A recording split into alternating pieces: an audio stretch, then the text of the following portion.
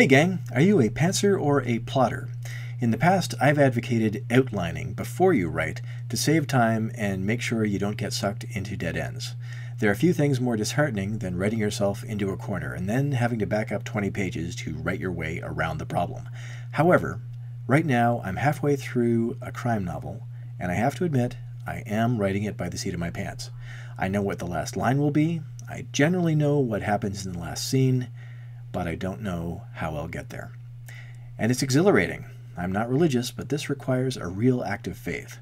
The best thing about it so far has to be that I can't be bored. The reader won't be bored because I'm not bored. I don't know what happens next.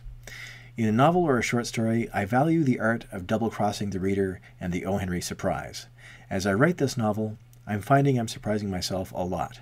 I'm putting in more beats per chapter, so there's a lot of action, and when I get stuck for that action, it arises from character. Action and dialogue arise organically from character. When I get stuck, I look to the characters and their conflicting aims, and something always comes up for what the next chapter will be.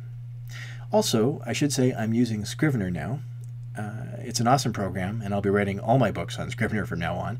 And I'm writing about a chapter a day, um, so somewhere between one to 3,000 words in there, so you can expect to see the series begin this summer, and I'll have more news on that soon. It's exciting times. Also, Self Help for Stoners seems to be getting some attention. If you haven't tried Sex, Death, and Mind Control yet, take a look. It's a dark collection of short stories with a lot of surprises, and there's a couple of award winners in the mix. People are out to control you, so be prepared and get Sex, Death, and Mind Control by Robert Chazz Chute. That's me.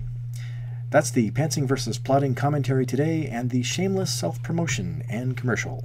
Have a great day and strangle a mime.